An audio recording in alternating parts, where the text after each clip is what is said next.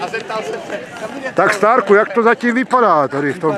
Parádně. Jde se pro druhou stárku. No a jináš teda dobrá nálada, všecko? Jináč Zvládáš nálada to? parádní, Zvládáš já si to, to? osobně užívám, zvládáme všecko. A Stárka?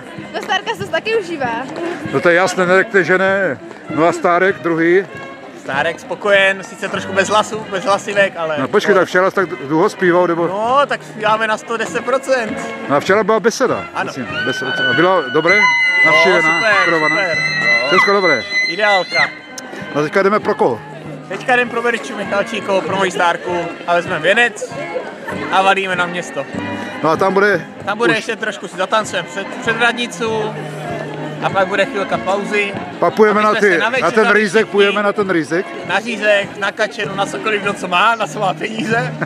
A potom bude zábava na kulturáku. Povolená, je povolená. Je povolená. A, a do kolika ti lidí? Do, do kolika ti lidí? To se uvidí, ale to dvou.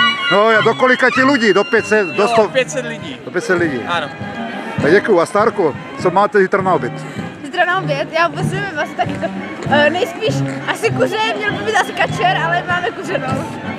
Fakt není kačena? Kačera nebude, bude, bude kuře. Kuře. A u Stárka? U nás je pečená kačena. Tradičně. tradičně. tradičně. A, i, a i když nebyl Stárek, tak je tam. Ano. Takže No tak. a co říkáš na účast krojovaných? Dobrá, dostatečná? Účast krojovaných není taková jako v minulých letech, což chápeme kvůli tady té eh, blbé situaci, Ano.